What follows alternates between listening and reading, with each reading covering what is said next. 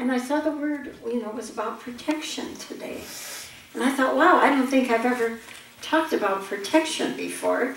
And it's an interesting word, protection, because just saying that you need protection implies that we don't get it. And I'm including myself in this. You see, that's the difference between knowing your true nature, knowing your divinity, knowing your oneness with God, where there's no need for protection. That is your protection. And then our human experience, where it appears we need protection. You see the difference? So it's sort of a catch 22. And today I thought I'd talk about what is protection? Where do we find it? How do we get it? What do we do about protection? We live in a world of duality on this earth plane.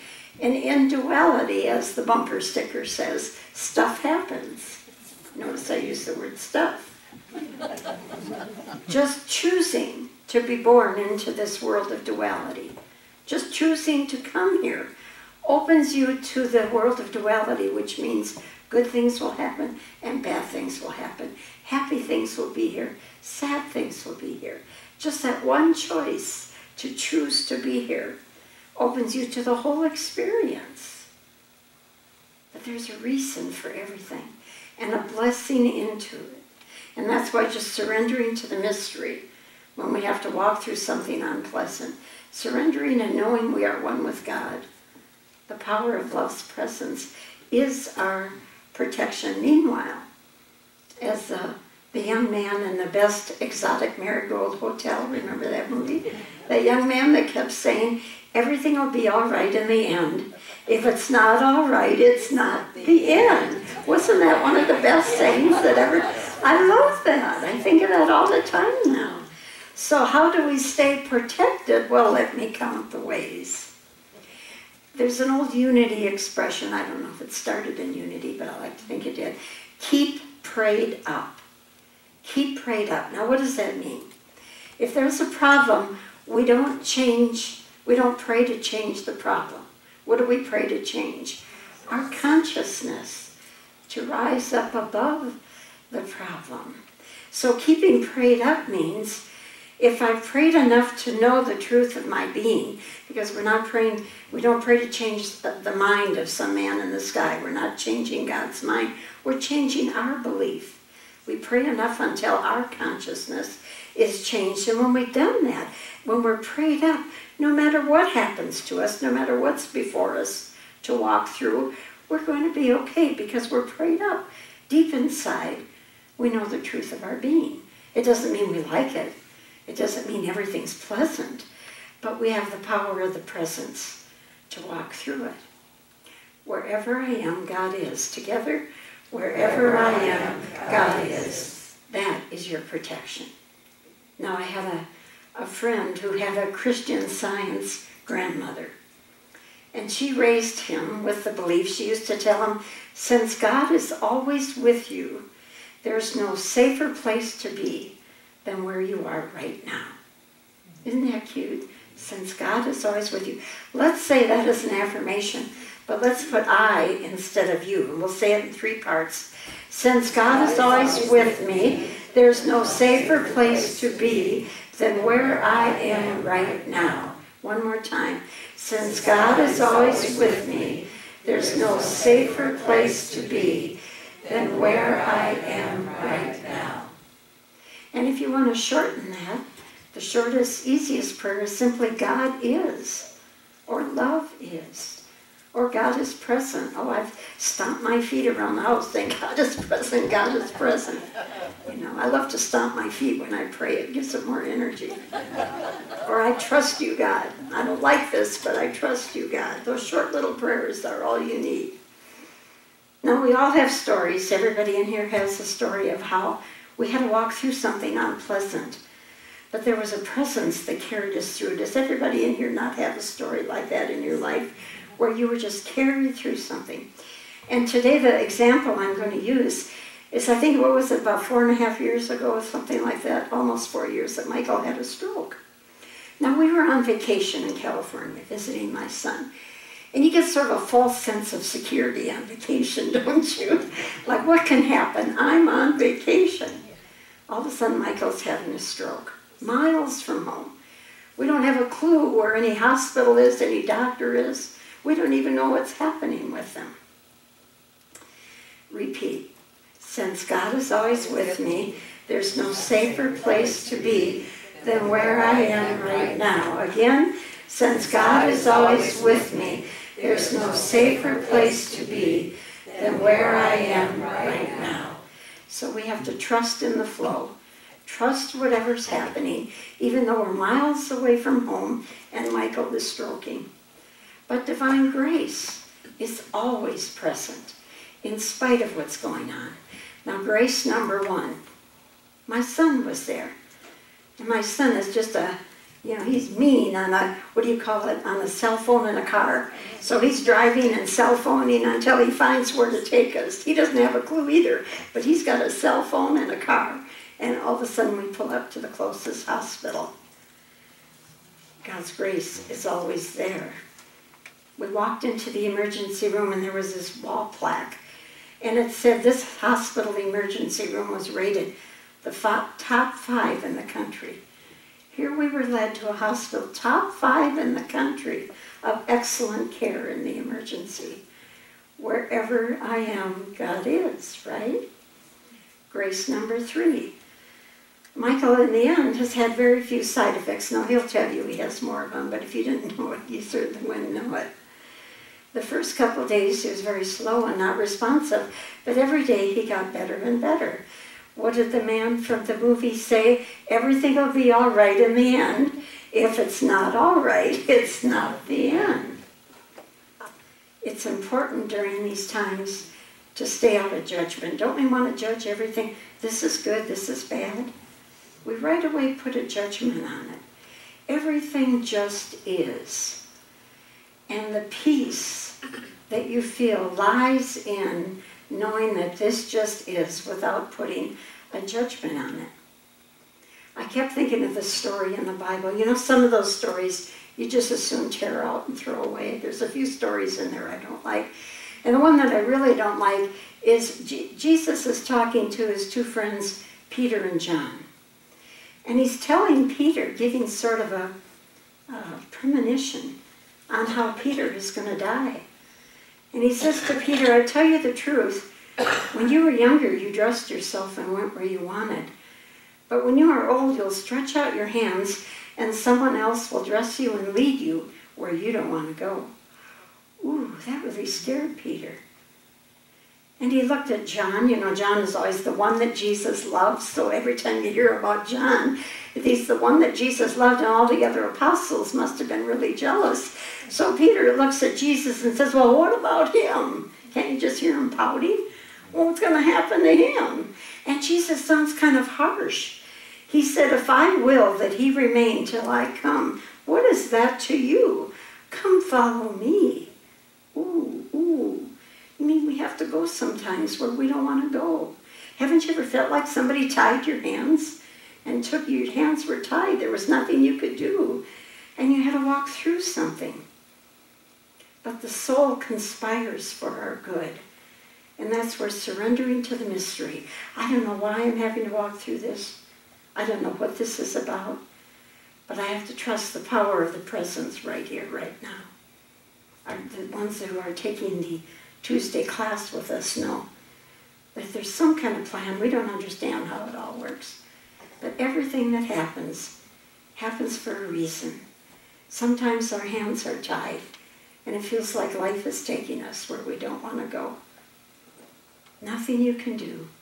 Have you ever felt that way?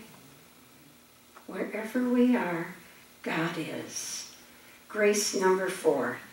By the third day in California in the hospital, I was getting kind of stressed and tired. And I thought, well, you know what? I need to go to the chapel. So I started asking around. I started looking for the cha- every hospital has a chapel, right? couldn't find it. Finally, I asked somebody. They said, well, we used to have one, but we made it into a conference room. And I thought, well, that explains a lot, you know. So when I couldn't find a, a chapel, there wasn't any, I thought, okay, if I can't find a chapel, I need chocolate. and it was really funny because just as I was thinking, no chapel, I gotta have chocolate, I get on the elevator and there's a woman on the elevator. As soon as I walk in, she said to me, I need chocolate. and so I found this kindred spirit. We both needed that. Anyway, so I go to the cafeteria for some chocolate, right? And the cafeteria is sort of an L-shaped room, and I'd never been all the way back. But I just wanted to be by myself with my chocolate. So I went all the way to the back of the L, and here there was a huge window, and outside there was a waterfall and trees. And I thought, wow, I found my chapel right here in the back of the cafeteria with my chocolate and the waterfall and the trees. Wherever you are, God is. And when you live in that knowing, you can find a chapel anywhere just by going within and being still. Would you repeat one more time with me?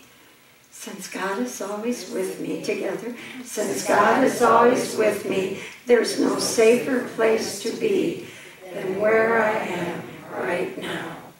So we landed in a hospital that was top five in emergency care. Michael was okay. I was having some quality time with my son, and I had chocolate. I was doing all right. In the 12 powers of the Christ, one of them is right judgment. And the only right judgment is no judgment. Now, we're not talking about discernment, that's a whole other thing. You have to discern what to do sometimes. But nothing is good or bad. That's what judgment's about.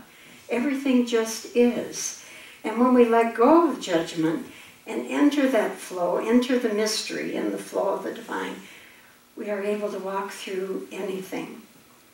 You've all heard the Zen story. I won't tell the whole long story about the farmer whose horses ran off. And the neighbor said, Oh, that's bad. All my horses ran off. And the farmer says, eh, Maybe it's good, maybe it's bad. So he sends what does he do? He sends his son out to find the horses. And the son comes back with a broken leg. And the neighbor said, Oh, that's bad. And the farmer says, Maybe it is, maybe it isn't. The next week, the army comes and they take all the young men in the village but his because his son had a broken leg. And the neighbor says, Oh, that's good. And the farmer says, Well, maybe it is, maybe it isn't. Your whole life can go back and forth that way.